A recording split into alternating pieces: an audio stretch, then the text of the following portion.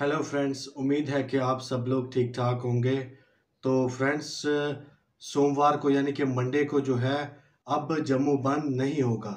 जी हाँ इस समय की एक अहम जो अपडेट मैं आप तक बताता चलूँ अपडेट जो है जम्मू बंद की कॉल जो है, आपको पता ही होगा कि पिछले दो तीन दिनों से काफ़ी इसमें चर्चाओं में था कि जम्मू बंद की कॉल जो है वो दी जाएगी प्रॉपर्टी टैक्स को लेके का इसमें चैम्बर ऑफ़ कॉमर्स और बार एसोसिएशन जम्मू और ट्रांसपोर्टर्स ने ये कहा था कि जम्मू बंद की जो है वो अब समय आ गया है जिसमें कि वो प्रदर्शन अपना एक विरोध जताएँगे। सरकार के खिलाफ जो सरकार ने जो है प्रॉपर्टी टैक्स जो जम्मू कश्मीर में लागू कर दिया है, एक अप्रैल से जो होने वाला है तो आज यानी कि शनिवार को ये एक अहम मीटिंग हुई जिसमें कि chamber of commerce, bar association Jammu और ट्रांसपोर्टर्स जो थे, उन्होंने ये एक मीटिंग की है। जिस मीटिंग के बाद ये नतीजा निकला है कि अब जो है फ़िलहाल सोमवार को कोई जम्मू बंद नहीं होगा।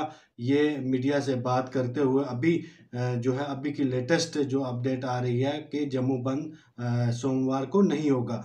तो उसके अलावा जो है आपको याद ही होगा कि पिछले दिनों जो है प्रॉपर्टी टैक्स को जो सरकार ने लागू किया था और उसके बाद एक नियम भी आए थे जगह जगह के प्रॉपर्टी टैक्स फिक्स भी किए हुए हैं सरकार की जानब से। तो इसमें लोगों में जो है जम्मू कश्मीर जो जम्मू कश्मीर पूरे यूटी के लोगों में काफ़ी गुस्सा है, काफ़ी नाराज़गी है सरकार को लेके।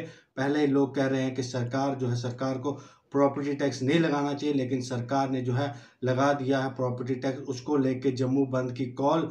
पहले ये कहा जा रहा था कि सोमवार को जम्मू बंद होगा, लेकिन अब जो है ये बात क्लियर हो गई है कि सोमवार को जम्मू बंद नहीं होगा। और जो आपको याद ही होगा कि जो एलजी मनोज सिन्हा साहब ने भी इस प्रॉपर्टी टैक्स को लेके अपना जो है क्लियर बात कही थी जिन्होंने, जिनका बयान भी काफ़ी वायरल हुआ था, उसमें उन्होंने कहा था कि जम्मू कश्मीर के लोगों को आईफोन वगैरह जो है महँगी महँगी चीज़ें वो ले सकते हैं। तो प्रॉपर्टी टैक्स देने में क्या ऐसी गलती है। तो इसको लेके भी लोगों में काफ़ी विरोध था और लोग जो है आज भी पूरे जम्मू कश्मीर के लोग यही कह रहे हैं कि हम प्रॉपर्टी टैक्स नहीं देंगे और अब प्रॉपर्टी टैक्स जो है एक अप्रैल 2023 से जो है सरकार ने लागू कर दिया है। आने वाले एक अप्रैल 2023 से तो उसको लेके जो है आज जम्मू में मीटिंग थी बार एसोसिएशन जम्मू और चैम्बर ऑफ़ कॉमर्स की, जिसमें ये नतीजा कहा गया है कि अब मंडे को प्रॉपर्टी टैक्स के बंद की कॉल नहीं होगी। हाँ आने, कुछ उन्होंने कहा है कि कुछ आने वाले